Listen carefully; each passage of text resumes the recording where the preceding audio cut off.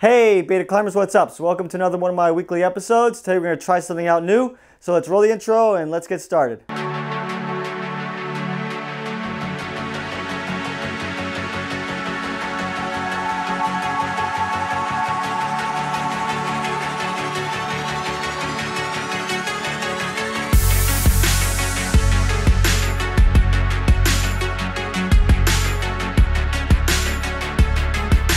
Welcome back. So what's new? Well, we're gonna try something out new, and I'm calling it mail time or mail. Mail. I actually don't have a name for it. I guess mail time is good.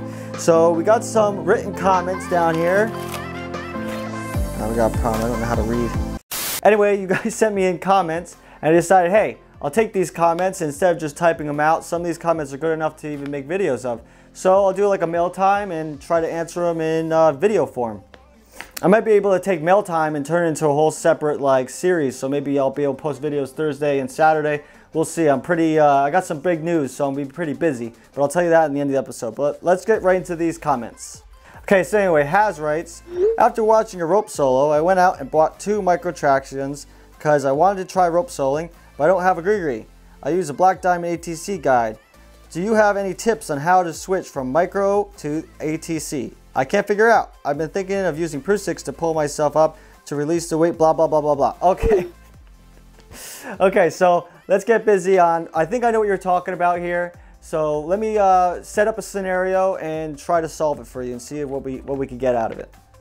Okay, Haz, I'm sorry I didn't read your whole comment, but I'm trying to save a little bit of time for everybody. If you want to read his whole comment, uh, I guess I'll post it down below in the, in the description. But basically Haz's problem is he wants to know how to go from these Micro Trax instead of into a GriGri into an ATC. And I can see how that could be tricky.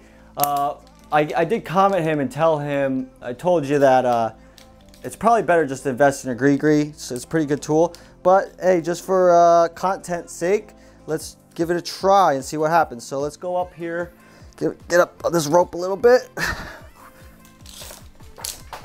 Okay, dokie, let's go up a little higher. Okay, so now we're in our Traxions and you want to get into an ATC. Okie dokie. Let's see, how would I do this? Now, of course, this isn't the safety standard, and I'll post up a uh, the, the safety standard I think Petzl made, and I'll put a link down below of what they say rope soloing should be. This is all just my opinion and uh, fun to watch. So, okay, let's do this. Let's go into belay mode here, like so. Like we're gonna go into belay mode. Okay, now what would I do? Well, I think what I would do here is first I would tie a catastrophe knot because it's better to look stupid than look dead. So we're gonna tie a catastrophe knot. And then if you tie a slip knot here on the side where if this end pulls, it just pulls onto the slip knot and this end pulls the slip knot out and this end pulls it tight. So let's cinch that up like so. See what we can do here.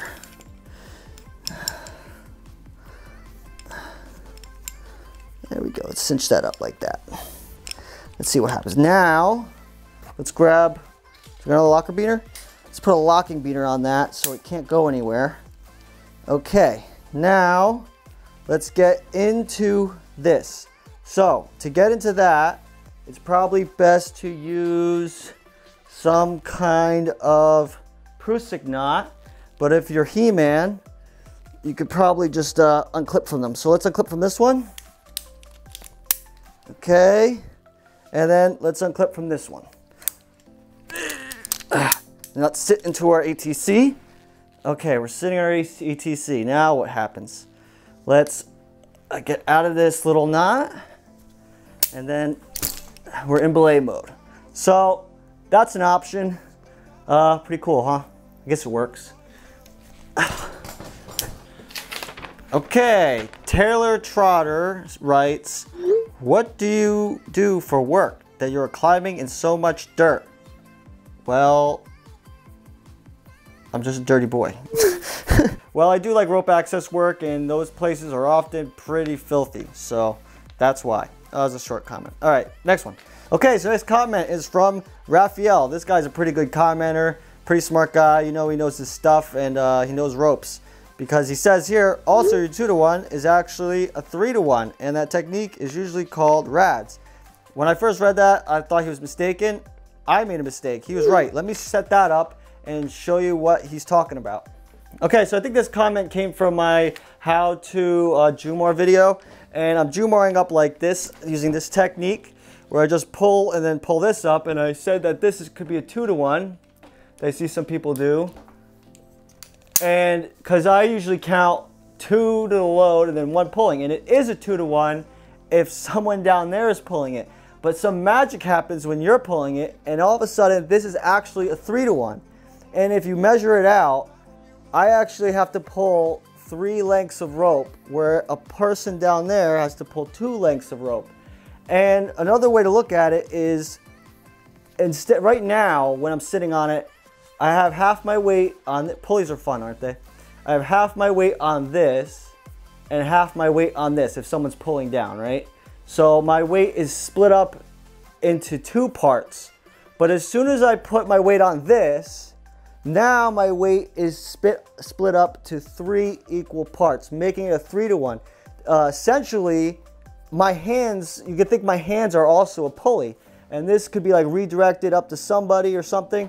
So that's pretty cool. And it's it, obviously you have to pull more rope because you have to go like this, but there's more uh, mechanical advantage going on here. So yeah, Raphael, you're right.